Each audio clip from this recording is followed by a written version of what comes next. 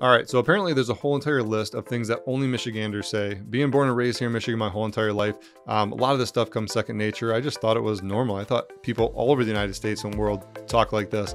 But of course, if you grow up in an area, you're gonna think that. I remember when I was traveling, um, I thought people talked funny, you know, in the South, and they thought I talked funny too. So if you're somebody who's thinking about moving to Michigan or going to be visiting Michigan and you want to adapt a little bit quicker and catch up on the slang or at least know what the heck we're talking about, then stay tuned for this list because we're getting after it right now.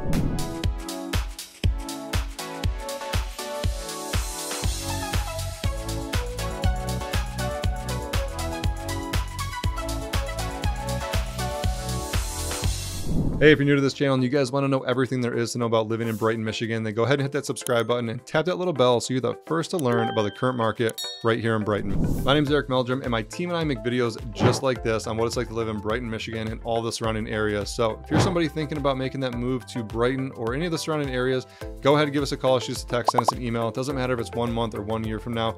We want to help you do just that. So all my contact information is in the description below. You can schedule a Zoom call with me or somebody from my team. And as always, we'd be happy to help you make a smooth move here to Michigan. All right, so reviewing this list, I had to crack up at a lot of these because there's actually a few on this list that I didn't even know about. And I'm gonna have trouble pronouncing them. That's another separate video that we're gonna do is a lot of the pronunciations here in Michigan, especially the Detroit area.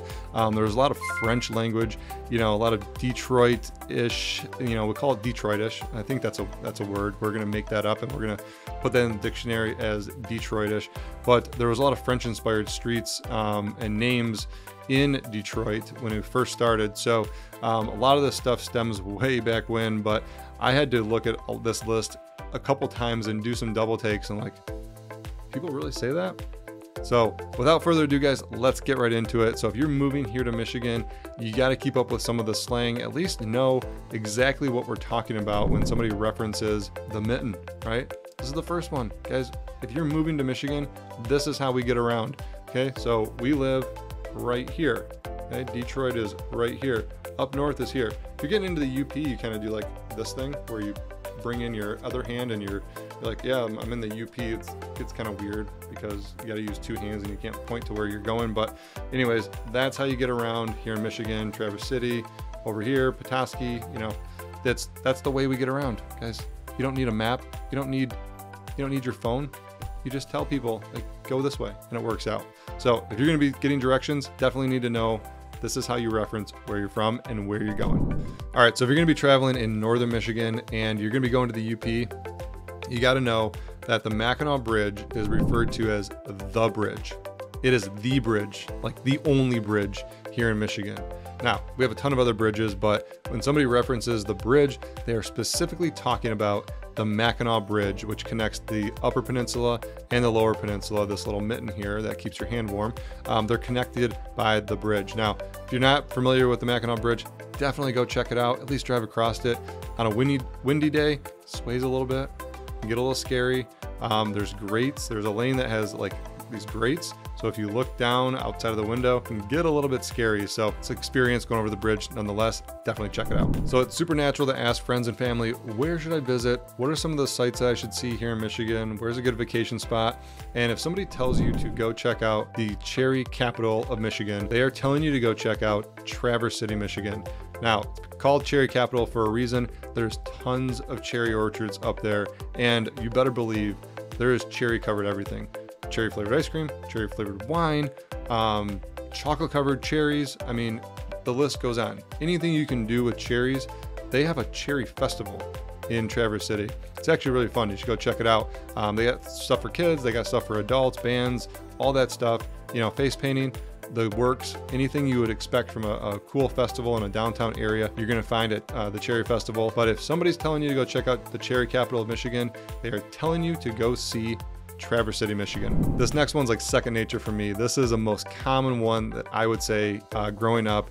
If we were going up north and we were going to, it doesn't matter where you were going, quite frankly. Um, if you were just going up north anywhere, you told your friends that you're going to the cottage. Now, it doesn't necessarily have to be a cottage. Like I, I would look at a cottage as kind of a log cabin or, you know, somewhere in kind of remote in the woods. There was lake houses, like immaculate million dollar lake houses that people are like, yeah, we're going to our cottage. No big deal. Just this little like, you know, slice of heaven up there. It's our cottage. It's very quaint. And you get there and it's like massive, like 4,000 square feet overlooking Torch Lake and it's got everything's updated in it. I mean, the whole place is just like beautiful. But the cottage is something where you tell your friends and family, like, you're going up north, and that's the whole definition of it. You're just going north, you're going to the cottage, you're going to get away from the city. So I love that one. Growing up, I used to say the cottage all the time when we would go up north. It didn't matter where you're going at all. All right, this next one, I absolutely hate when people say this. Like, this is one on the list that I, oh, it just like makes my oh, my ears burn and like my skin crawl when I hear somebody call it this because this is not something I, I grew up with. But people here in Michigan call a remote the clicker. The clicker. Guys, please don't call it the clicker. It's a remote. I mean, we've had remotes for forever. It is not a clicker, but I think it's got its name from the old, like, when you had the old remotes and you press the button, it went click, click, click. So I don't know how this this came about, but people here in Michigan, um, yeah, they call it the clicker. So when you come here, if somebody tells you to pass a remote and they say pass the clicker, don't pass them like some keychain with a clicker on it. Pass them the actual remote. All right, this next one I say all the time, especially in the line of business I'm in when I'm showing clients homes and we are talking about some of the features of the homes. There is a wall that is actually glass in the home that opens. You might already know what I'm talking about. Here in Michigan, we call that a door wall.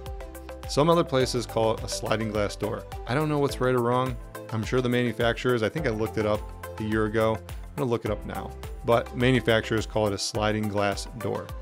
But it's this thing that's in the wall. It's a door in a wall and it slides open. So it makes sense. It's like a, it's a door wall, guys. Can't get much simpler than that. It's a door wall. Acts as a wall. When it's shut, that's it. I mean, I don't know what else to say. It's a door wall. All right, this next one confuses the heck out of a lot of people. Now, if you're used to driving in some of the southern states, you can make U-turns and go basically the opposite direction on the highway or the road that you're on. Here in Michigan, if you want to go left, you actually have to go right and then go to a, a crossover in the median that's called a it's called a Michigan left. So you have to go right and then go through a median and then go back that way to make your left. So confuses the heck out of a lot of people when they get to an intersection. They're like, well, I just want to go left. Well, can't do it. You got to go right and then you got to go left to go the other way. So confuses the heck out of a lot of people. But if you're going to be driving here in Michigan, get used to the Michigan left. I'm used to it now. Doesn't even phase me. I know exactly how to do it. And easy peasy, guys. So I'm cracking up reading this list. My cheeks are absolutely hurting, but I would love to hear some of the things that are only unique to where you live, some of the words that you guys say that nobody else says anywhere you go. Drop those in the comments below. I'd love to hear them. All right, so confession time, guys. I have been saying this word for probably my whole entire life, and I didn't even know I was saying it until I saw it on this list. And this is just part of speech, like you shorten words or you abbreviate them kind of where you're from. This is one of those words that I've been saying for so long, too long. Now I'm gonna know I'm saying it all the time. Um, it's gonna drive me crazy, but the word is OPE. O P E. OPE. It's short, abbreviated for like oops. Um, could be abbreviated for like I'm sorry or oops, I'm sorry. When you bump into somebody, you're like, oh, oh, you know, just kind of oh. You don't say sorry. You don't say like anything. It's just oh. Like you said something. The person's like, oh, uh, he said something. He must he must be sorry, right? It it's the weirdest thing. Like we just took off oops, oops, I'm sorry, and just made ope. So welcome to Michigan, where we have the laziest apology ever. It's just ope. All right, so let's head back north for a couple fun ones. Now, if you're going to be visiting Mackinac Island, which we did a whole entire vacation tour. My sister got married on that. So if you want to check out Mackinac Island, go definitely check that out. Um, it's a fun video. But if you're going to be visiting the island as a tourist, just know that the locals, they're talking about you and they're calling you fudgies.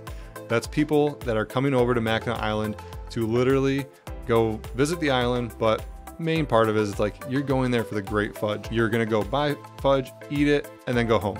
So, AKA, you're a fudgy. People in the Upper Peninsula also have a name for us people in the Lower Peninsula, and this is one I really don't even get. to be honest with you. People from the Upper Peninsula call us Flatlanders. Now, of course, I've never been face to face having like coarse words with somebody from the Upper Peninsula. You can just imagine like you starting to get into a little bit of an altercation and you know you're about to stand off, and then the guy from the UP is like, "Listen here, you little son of a Flatlander." Think that would take me back in my in my stance, and I'm like, I'm gonna back down from that fight. Like, I'm not not messing with somebody that's gonna call me a Flatlander. Just sorry, I'm just not. All right, I got to admit, Flatlanders is an absolutely terrifying name. Like getting called out in a you know, fist altercation as a Flatlander. Like, yeah, I'm backing down. But you know what? People from the UP, they are called Yoopers. So if you hear somebody calling that guy over there a Yooper, just know he's not some weirdo. He's from the UP, which they have their own set of words anyways, so kind of weird. All right, so as you guys can see, Michiganders say some pretty wonky things. We're gonna go into a little bit of speed round. These are words that we frankly just like, we combine. I don't know why we did it or why we pronounce it this way. Um, I'm looking at the list and I'm like, yep, I say that. I say that too. And I say that one. Um, but we're going to go through this list really quickly. I'll explain what each one of them means. But these are Michigan pronounced words that have combined two or three words together to make one weird, simple word. So first up is the word didja, D-I-D-J-A, and it's short for did you. And you can use it in a sentence like, hey, did you get milk from the store? Did you fill up your car with gas? Uh, did you get the, the pop that I wanted? Did you? We are just too lazy to say, did you? Did you? All right, this next one, I'm cracking up reading these guys. Um, Jeet, J E E T. And it's short for Did You Eat? I say this all the time. Um, Jeet, Jeet dinner, Jeet dinner. I, am trying. I'm trying to say it, and I'm actually saying it, but I'm trying not to say it. If that makes any sense. Um, Jeet dinner, and it's did you eat dinner? All right. So next up on the list is look it. L O O K I T, and you just mash it all together. Instead of saying check this out or look at this, you just grab somebody's attention by saying look it, look it, look it, and that's supposed to be enough for them to know that you're saying look at this or check this out. All right, next up on the list is Secretary State, and it's Secretary. I'll spell it out S E C R E T A R I A H. State. Secretary State. That's a misspelling. We just don't want to pronounce it secretary. So we say secretary. Secretary. it's just run on like secretary. So if you're looking for the Secretary State, you know what I'm talking about. Here's another one, you guys. Instead of saying y'all, you guys, we just say you guys. Hey, you guys, what are you doing today? Hey, you guys, what's going on? Hey, you guys, hey, you guys.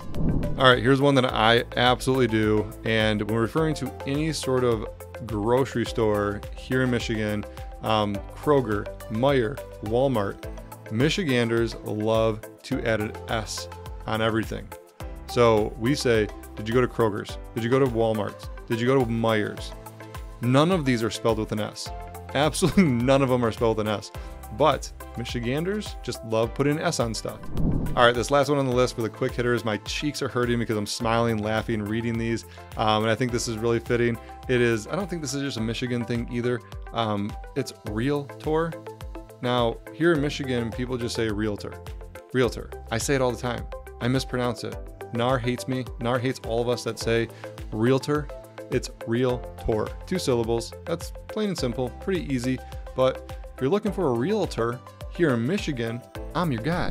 All right, so that wraps up all the weird things and funny things that Michiganders say here in Michigan. We got Yoopers up in the UP, we got Flatlanders down here in the Lower Peninsula. Um, we got people saying Didja, Jeet, um, Secretary State, and finally, if you guys are moving to Michigan and you're looking for an awesome realtor, I am right here. Whether you're moving in one month or one year from now, don't hesitate to give us a call. Easy to get a hold of us. All my contact information is in the description below. Schedule a Zoom call with me or one of my teammates, and we'd be happy to help you make a smooth move here to Michigan. All right, guys, until next time, we'll catch you on the next one and go enjoy all these other videos that we have out here and here. And I think they're awesome because I made them. So, until next time, we'll see ya. Peace.